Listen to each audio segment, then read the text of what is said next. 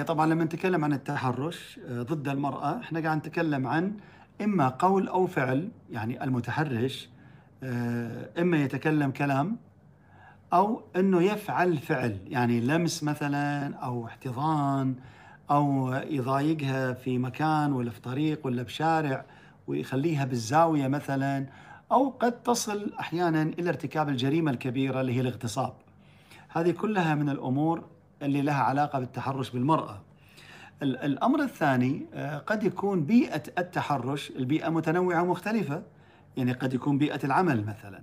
فيكون موظف يتحرش فيها أو مدير مديرها أو رئيس يتحرش فيها. وأنا عندي قصص كثيرة حقيقة في هذا الجانب. أو إذا ما كانت بيئة عمل قد تكون البيت نفسه. يعني أحيانا أخو الزوج قد يتحرش فيها. أنا عندي بعض القضايا أبو الزوج يتحرش في زوج ولده.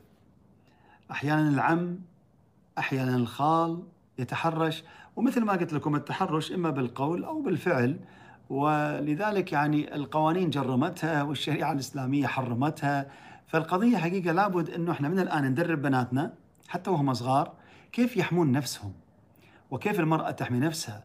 طبعا هو التحرش بالمناسبة يعني ما يقتصر على الرجل والمرأة فقط. أحيانا المرأة تتحرش بالرجل وأحيانا الرجل يتحرش بالرجل وأحيانا المرأة تتحرش بالمرأة.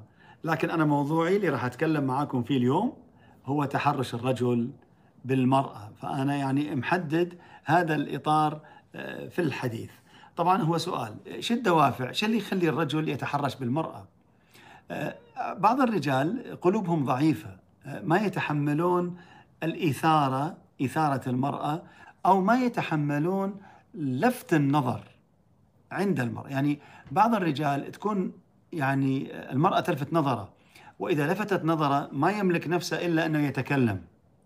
وأحيانا يتكلم كلام في غزل في كلام عاطفي يدغدغ مشاعرها يعني يسمعها كلمتين يبيها تلتفت له. وهذه أساليب حقيقة يستخدمونها بعض الرجال. لكن ما الذي يلفت نظر الرجل في المرأة؟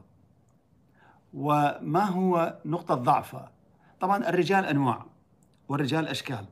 بعضهم نقطة ضعف اللبس طريقة اللباس تكون نقطة ضعف. بعضهم لا والله مو اللبس المشية. طريقة المشية في بعض النساء اللي مشوا يعني يتمايلون. طريقة المشية تحس المشية فيها دلع. فهذه تلفت نظر الرجل. أحيانا لا. أحيانا المكياج والميك أب وطريقة تسريحة الشعر و ها يعني آه، الشكل الخارجي بشكل عام قد يكون ملفت نظر للرجل. يعني أنا أذكر آه، واحد من الرجال مرة كان يقول لي يقول لي أنا تلفت نظري المرأة السمينة.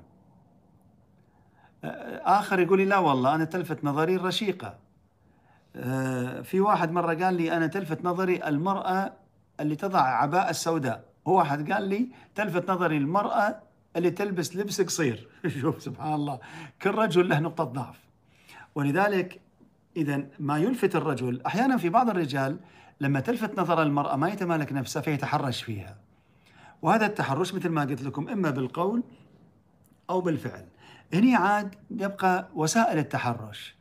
أحيانا تكون كلمات أحيانا رسالة يرسلها بالواتساب أو آه، بال social media مثلا رسالة بالفيسبوك ولا في تويتر ولا إنستغرام ولا في يعني أي قناة من قنوات التواصل الاجتماعي يكون فيها نوع من التواصل. والألفاظ المستخدمة في الرسائل يكون فيها نوع من التحرش. والتحرش إما عاطفي أو جنسي يعتمد لكن في الأخير هو تحرش.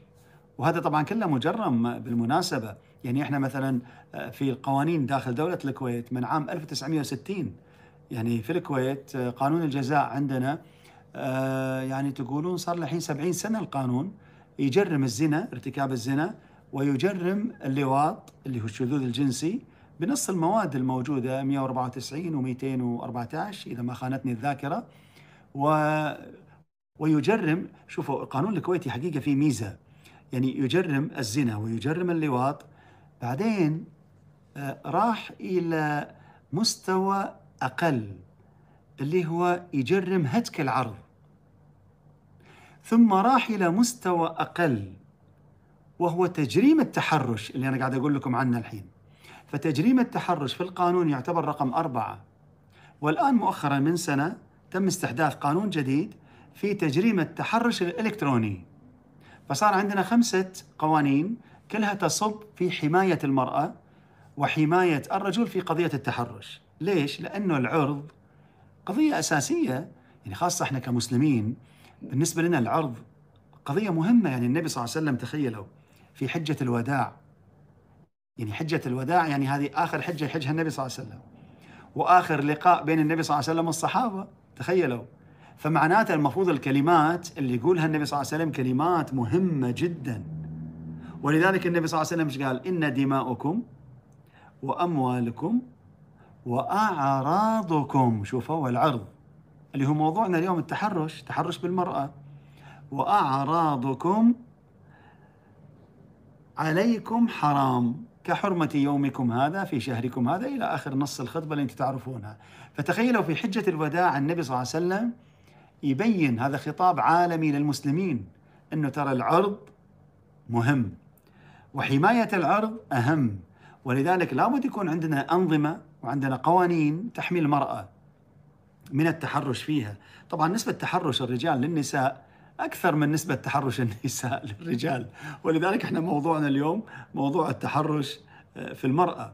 آه، الآن كيف تحمي المرأة نفسها من التحرش؟ طبعا في وسائل كثيرة. وفي روايات كثيرة وفي أحاديث كثيرة وفي أدوات كثيرة.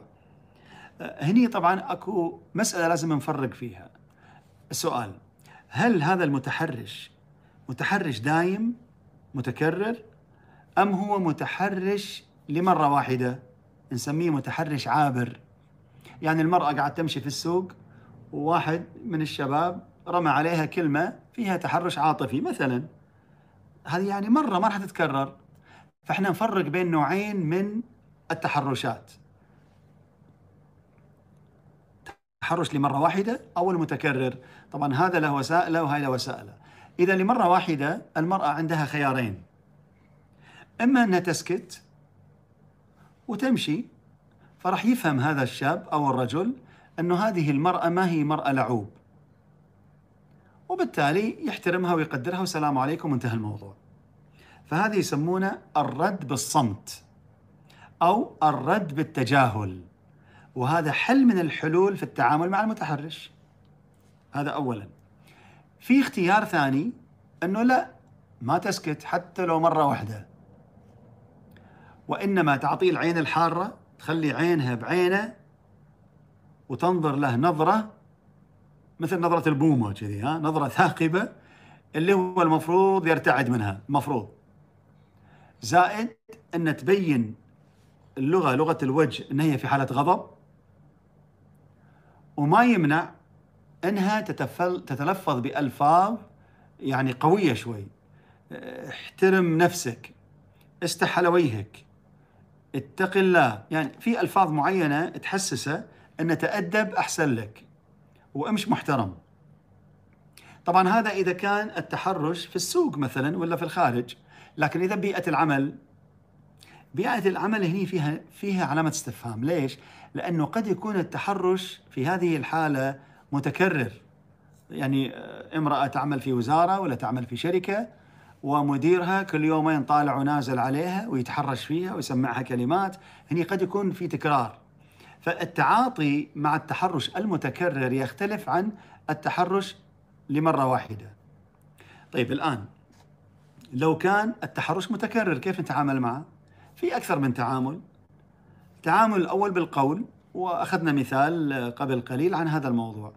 التعامل الثاني آه، قد ترفع صوتها يعني إصراخ تصرخ. لأن المرأة لما تصرخ راح تلفت النظر لمن حولها وإذا التفتوا النظر هذا الرجل راح يخاف راح يبتعد عنها.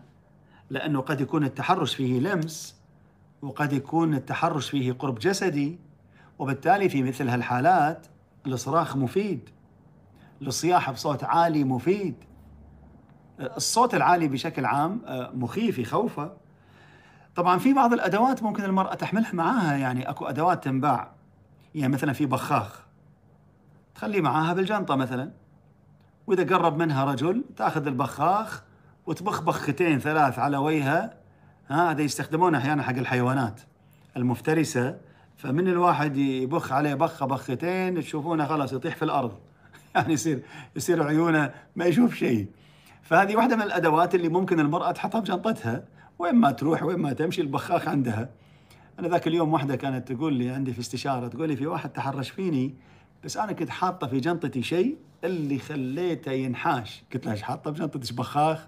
قالت لا والله مو بخاخ. قلت لها عيل شنو؟ كانت تقول لي حاطه صفاره مالت كره القدم. قلت لها لا والله. شلون؟ كانت تقول لي ابدا أنا ما أمشي إلا والصفارة بجنطتي. قلت لها ليش؟ قالت لي من يقرب مني الرجل ولا يتكلم كلمتين بذيئة ولا يحاول يتحرش فيني أطلع الصفارة وأصفر صفارة قوية اللي هو يرتعد ومن حولي كلهم يلتفتون ويبدون يشوفونه. فاذا في أدوات ممكن تستخدمها المرأة لحماية نفسها من التحرش.